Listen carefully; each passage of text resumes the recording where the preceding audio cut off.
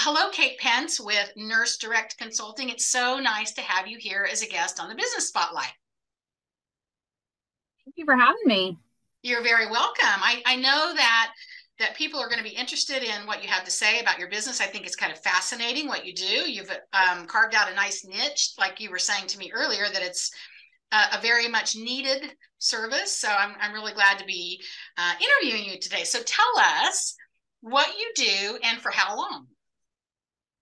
So, I have a consulting business and I focus on clinical consulting, healthcare operation consulting, and legal nurse consulting. I've been a registered nurse. I have a master's degree in nursing um, with a focus on executive leadership, and I'm also a licensed administrator. And I've been in senior care for 22 years.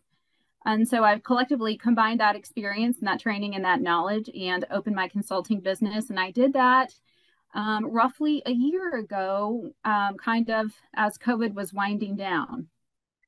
Good for you. Well, that's a lot of credentials. I, I love that. Yeah. And 22 years in senior care, that's a lot of experience.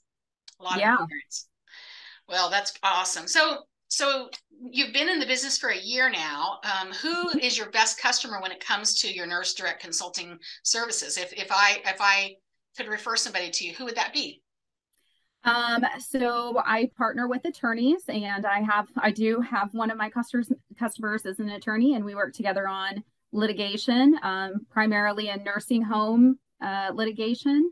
And I, I value his partnership because we we tend to to learn from each other. I've got knowledge on one side and he's got legal knowledge and we make a good team. Mm-hmm. Good. So mainly you working, you're working with the legal profession side of it. Then, mm-hmm. um, do you also do work for um, the facilities, or do you do anything like that? Yes, I have been contracted to help with uh, clinical type consulting as far as regulatory compliance. I've been contracted to do operations healthcare for management for maybe new business owners or um, business owners that are looking to grow potentially. Okay. And I've also provided uh, classes or I've spoke to clinical professionals related on documentation improvement to keep them out of litigation. Okay. Okay. Wonderful. Um, so you said you kind of started your business after COVID uh, was kind of winding down, but was there anything that COVID, um, were there any business changes that you had to make or had to consider that that COVID-19 made necessary? No, honestly, my business came about because of COVID 19, and I was looking for another avenue of income because uh, a lot of us couldn't foresee what was going to happen during COVID.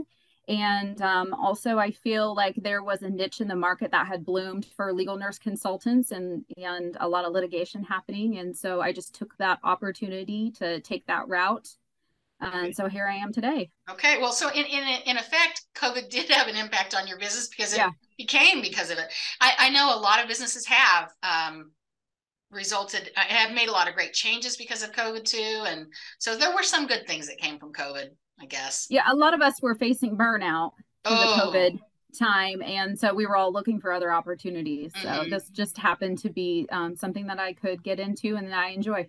Perfect.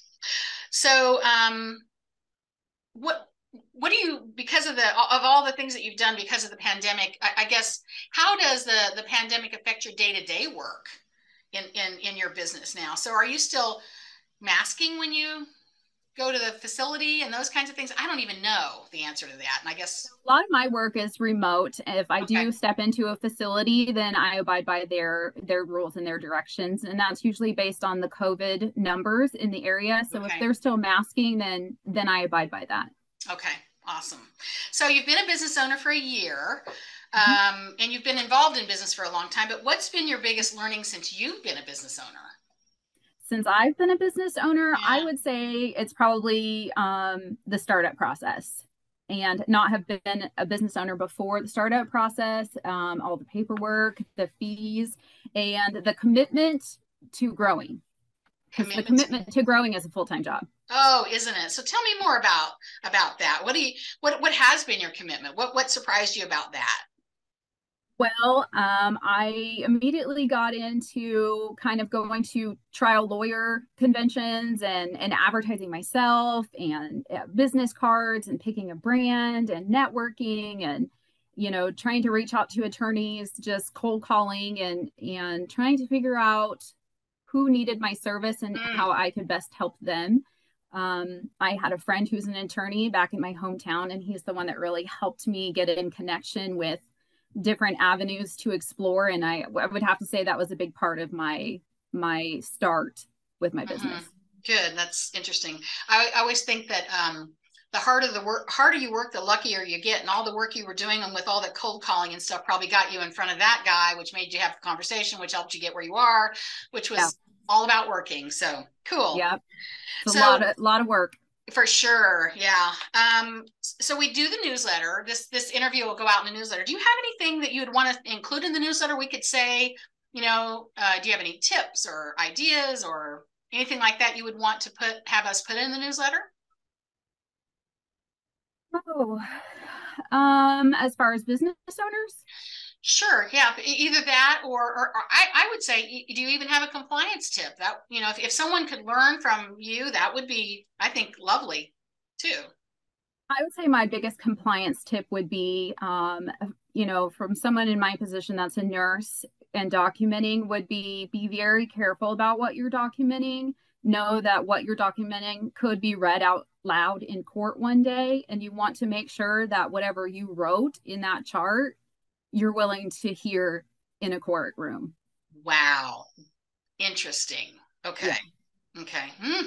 I would have never even thought of that before, but right. So you wouldn't want to say anything that was derogatory or opinionated necessarily. Is that maybe what you're saying or?